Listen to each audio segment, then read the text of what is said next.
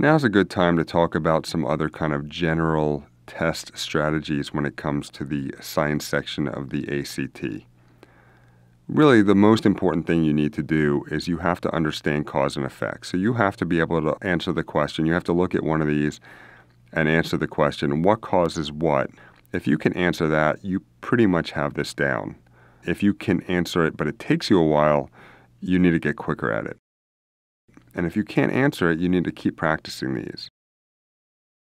Now, while you should skip between questions within a passage, because as you answer each question, it will help you, learning the answer to one question will actually help you maybe answer another question, you don't want to skip between passages. So before you're done any given passage, guess any that you don't know because there's no penalty for guessing. And as you might imagine, if you jump around between three different passages, you're going to forget which one you looked at. Wait, was that pH or was that CO2 or whatever? As I mentioned prior, you still have to know some science and you, and you have to memorize some things and, and you have to understand how science works.